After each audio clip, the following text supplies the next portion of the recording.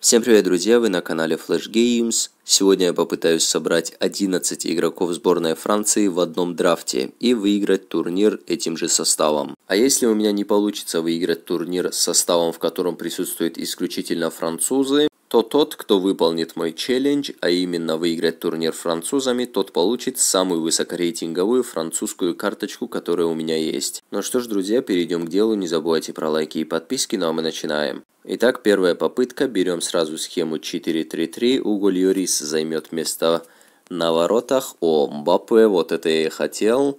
Хорошо, дальше у нас неинтересно. Справа будет играть пока что Мо Салах. Вальбуэна, вспомним старичка. Так, Неймар. Ну, все игроки, не представляющие сборную Франции, они у нас покинут э, основной состав. Слева Люка.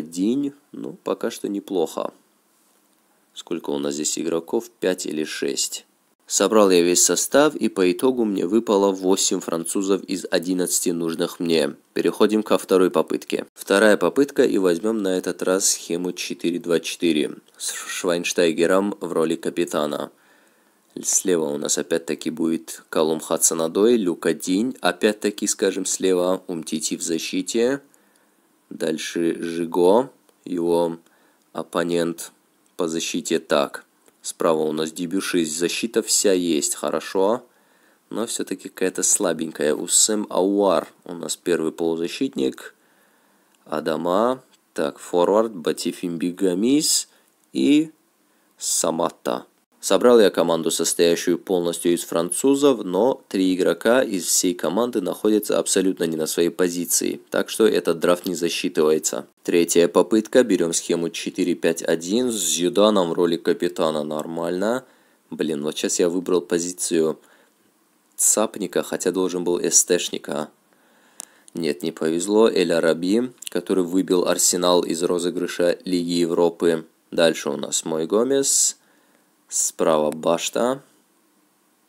Зинченко, но на Зидане пока что это закончилось.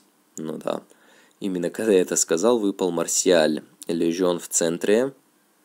И голкипером этой команды будет ОИР. Гуртнер. На этот раз мне не хватило двух французов для того, чтобы у меня их было 11. Этот чувак не считается, так как он СТшник. Четвертая попытка и всего-навсего 6 французов в составе. Пятая попытка и 9 французов. В шестой попытке опять-таки 9 французов. В седьмой попытке я снова собрал 9 французов. Восьмая попытка и, наконец, 11 французов в драфте, но, к сожалению, Фикир находится не на своей позиции и это не засчитывается. И, наконец, я смог собрать 11 французов в одном драфте спустя 9 попыток. Вот так вот выглядит состав, нажимаем финиш и давайте отправимся играть в турнир. Так, нажимаем Simulate, Classic Tournament и Sim Start. Очень давно я не играл этот режим. В основном сейчас залипает в драфт лига матчах. Так, 2-1.